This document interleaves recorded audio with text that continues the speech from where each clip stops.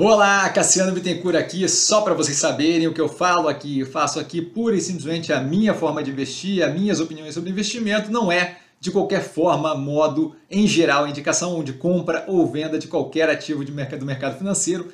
E agora o vídeo, valeu! Olá, Cassiano Bittencourt, pelo Movimentos da Semana.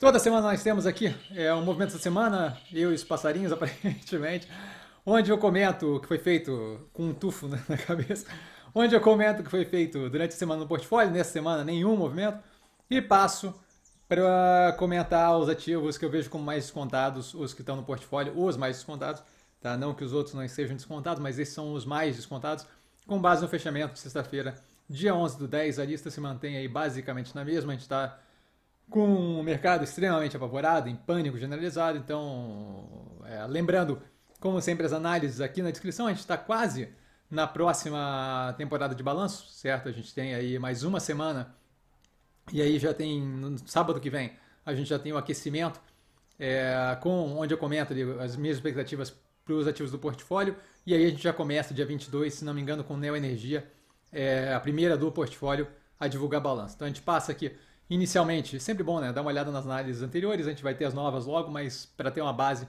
é sempre relevante. A XP ativo ele vem mantendo resiliência mesmo num período de risco percebido mais ampliado, o que acaba afetando diretamente a operação dela, certo? Que está ali vinculada a, investimentos, especialmente nesse momento a gente vê pelo volume baixo, mercado aí extremamente com receio, e aí aquilo ali acaba afetando a operação de forma menor demanda pelos serviços prestados. A gente tem de qualquer forma ali a parte mais vinculada ao setor, a, a dinâmica é, de instituição financeira mais clássica, previdência, seguros, cartão de crédito, que tem evoluído e tem ajudado justamente a manter a entrega de um resultado mais consistente para a XP.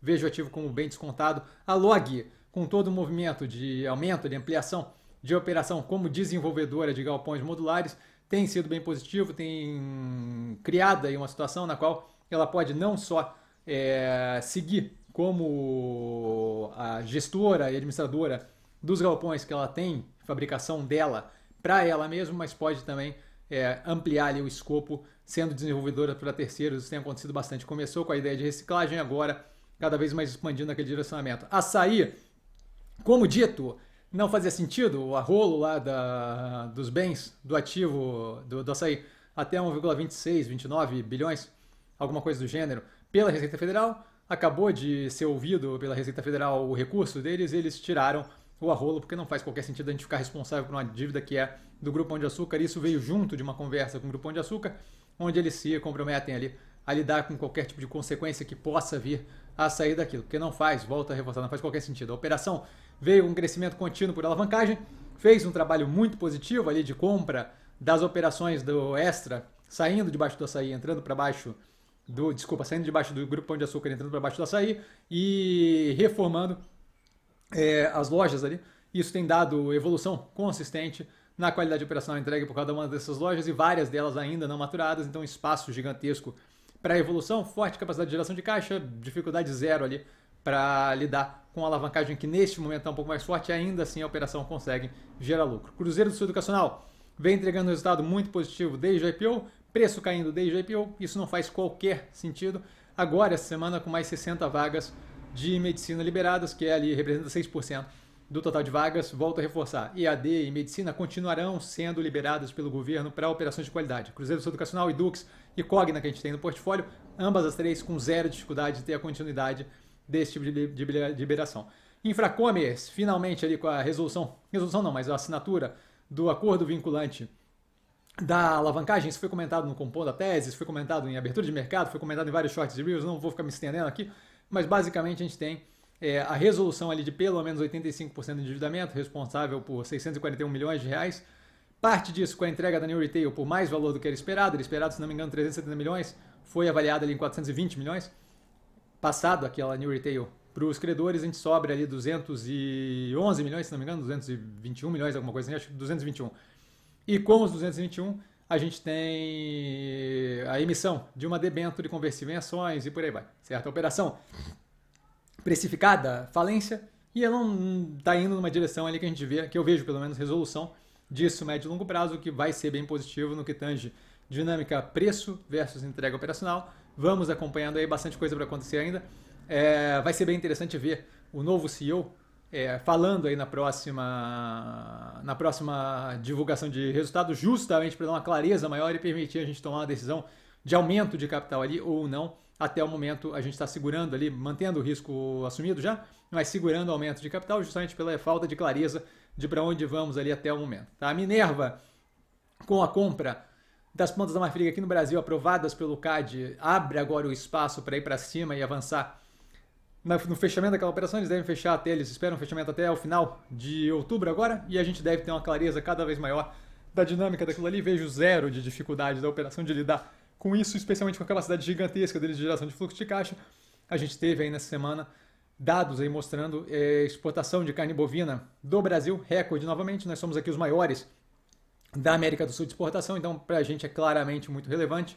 É, dinâmica extremamente positiva da operação, não vejo qualquer dificuldades da operação de lidar com um avanço agressivo ali no crescimento pela compra das plantas ou com a alavancagem que vem de consequência disso para reduzir contínua. A operação já fez isso com a compra das plantas da JBS na América do Sul. Não vejo qualquer nível de dificuldade, especialmente com maior tamanho, maior consistência na entrega de resultados que eles têm hoje em dia.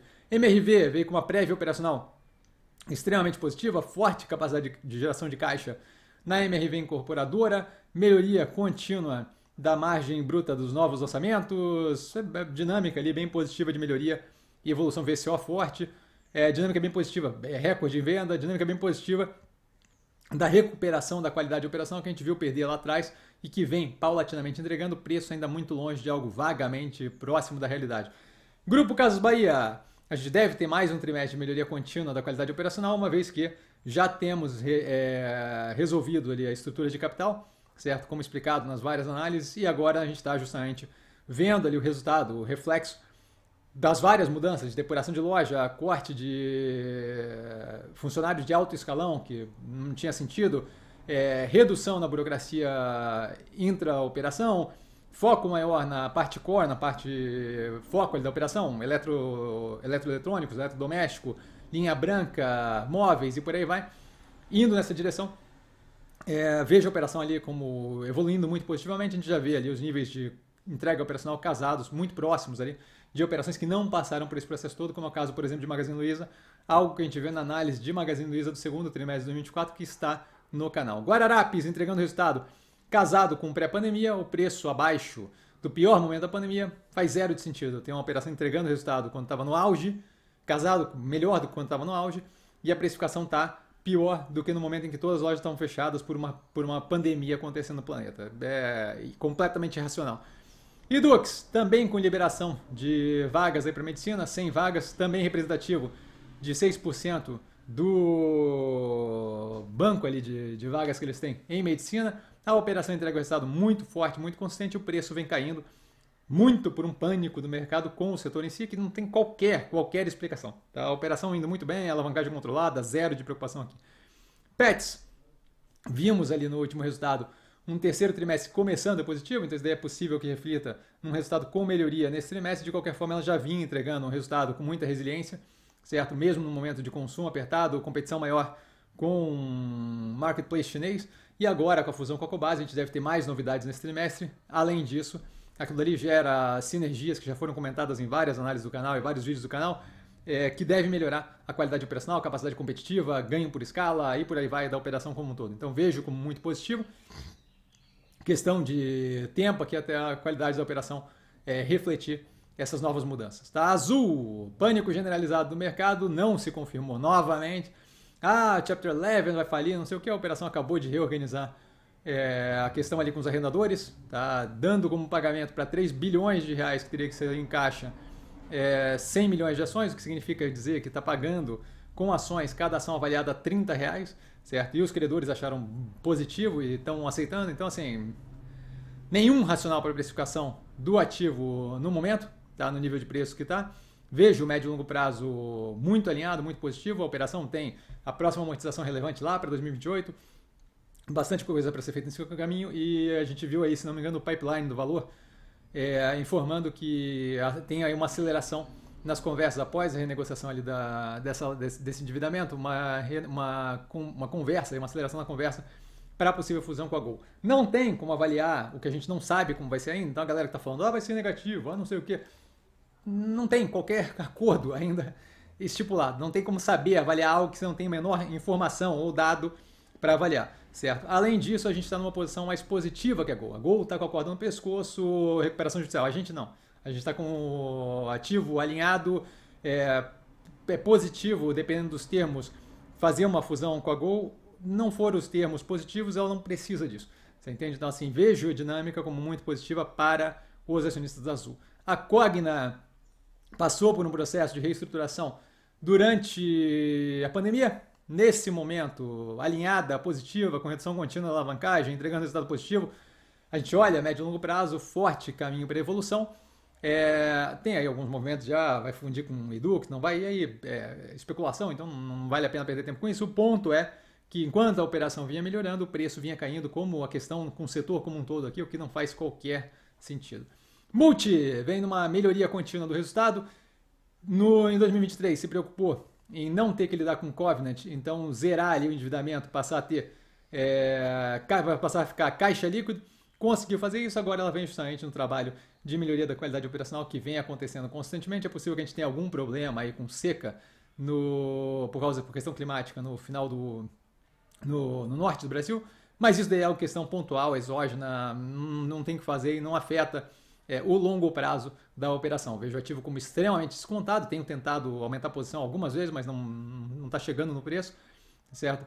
É, a dinâmica como um todo de novas é, parcerias tem sido bem positiva, foi a Chico de artigos infantis italiana, bem forte, inclusive parece, ele parece que estão aumentando o nível, nível ali para qualidade e não só mass market, né? não só bens ali de baixo valor agregado.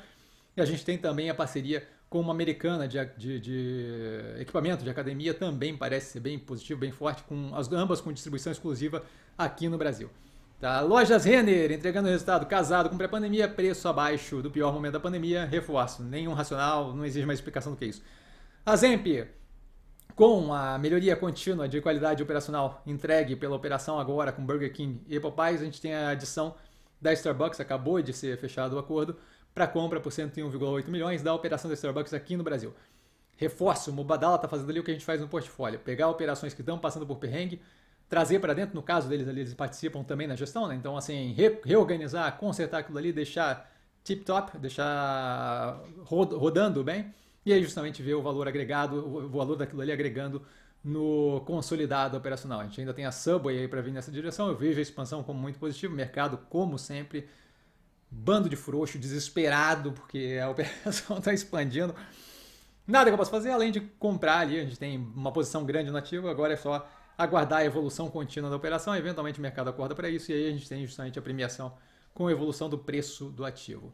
Alpargatas passou pelo processo mais agressivo de reestruturação da operação, agora é só colher os frutos, paulatinamente ver a melhoria, nada que chame atenção, melhoria contínua da liquidez, melhoria do nível de estoque já batendo ali em níveis é, bem positivos, dinâmica sell-in, sell-out bem positivo, como explicado nas, nas análises. A parte ali da Europa, Estados Unidos ainda tem espaço para evolução, mas nada que a gente não consiga fazer, e a parte da Rotis como um plus ali, um bônus já pagando por através de equivalência patrimonial ali para a lucratividade da operação como um todo. A Mobile, com a fusão da Tokstok, abre um espaço absurdo para correr.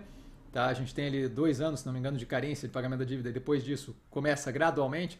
Esse tempo a gente tem justamente para absorver sinergias entre Mobile e Tokstok, que não tem é, canibalismo entre as operações e, além disso, se aproveitam ali de partes positivas da Mobile, como por exemplo, para citar um exemplo, né, logística, e partes positivas da Tokstok é a capacidade de gerar margem bruta em níveis muito mais altos. Isso daí deve trazer uma dinâmica bem positiva, além do ganho de escala que traz aquele tamanho de operação para a estrutura da Mobile é, nesse processo como um todo. Então vejo ali dinâmica extremamente positiva, o preço extremamente descontado. Serena, passado o período de maior expansão agressiva de investimento, a gente tem agora é a operação focada ali é, na, na, parte do Good Night nos Estados Unidos, observando ali o que vai acontecer para poder lidar com um ou outro investimento, foco nos investimentos lá nos Estados Unidos por enquanto, pelo custo-benefício ser bem mais positivo lá fora do que aqui no Brasil neste momento. E a operação, enquanto isso, fica ali gerando caixa, reduzindo a alavancagem e possivelmente a gente deva ter algum nível de distribuição disso para os acionistas, o que é bem positivo. Preço ridiculamente descontado quando eu vejo a evolução de, sei lá, 17, 18 vezes do EBITDA do IPO até agora e o preço não chega nem perto desse nível de evolução. Neogrid com resultado medíocre, agora agrupada as ações. É, volta a reforçar, a galera falou, ah, agrupa as ações, aí o preço cai, bababá, não sei o quê. Como explicado naquele BEM, não faz qualquer sentido isso, agrupamento não tem efeito real. E a gente viu acontecer com ela no dia que agrupou, subir 7% o ativo. Então, assim, racional zero nesse tipo de besteira. De qualquer forma, a operação vem aí com um movimento de evolução contínua no direcionamento, de focar nas partes core do que eles veem como mais lucrativo no negócio. Isso leva algum tempo, uma vez que ela atinja aquela velocidade de cruzeiro, aquilo ali cada cliente novo, cada contrato novo, acaba agregando basicamente margem, porque eu tenho um custo marginal muito pequeno para adicionar um novo cliente, dado que o, o, o grande, o, o, grande, a grande questão ali é criar o algoritmo, criar o, o programa, a dinâmica toda, e aí uma vez que eu tenha isso, o, o, grosso do custo já foi, a manutenção daquilo ali em funcionamento é basicamente o mesmo, um cliente a mais ou um cliente a menos. Então isso daí deve trazer uma evolução bem positiva no operacional financeiro quando eu penso longo prazo. E por último, aqui a Melnick, que pela, pela prévia operacional já teve uma forte recuperação do segundo trimestre, onde ela foi obviamente afetada por operar é, Porto Alegre, região metropolitana, certo? E a gente tem aquele desastre no Rio Grande do Sul, é, climático. É, agora já entregando resultados bem mais casados com o que ela tinha anteriormente, a gente deve ver justamente uma. A gente deve ver justamente paulatinamente, aí, não tão paulatinamente, mas entre esse e o próximo trimestre, uma, um retorno à qualidade muito forte. A operação vem entregando ali, é, mesmo com aquele trimestre, ela está entregando operações aí quando a gente olha nove meses de 2024, nove meses de 2023, basicamente casado. Então, mesmo com um trimestre morto por um desastre, ainda assim a operação está em níveis aí para bater o, o ano passado Tá entregando qualidade operacional, com melhoria na participação dos empreendimentos entregues por causa de terrenos por cash, não por land bank, e redução contínua, sem deixar acumular, de estoque pronto. Tá? E dúvida? Dúvida eu tô sempre no Instagram, arroba investir com sim, só ir lá falar comigo. Não trago a pessoa amada, mas estou sempre lá tirando dúvida e vale lembrar que quem aprende a pensar o bolso opera como um mero detalhe. Um grande beijo a todo mundo e nos vemos na amanhã, na abertura de mercado logo cedo o ativo chamando a atenção na metade do dia e a live de segunda, das 8 às 10 da noite, como sempre, é, tirando dúvida de vocês. Valeu, galera. Beijão!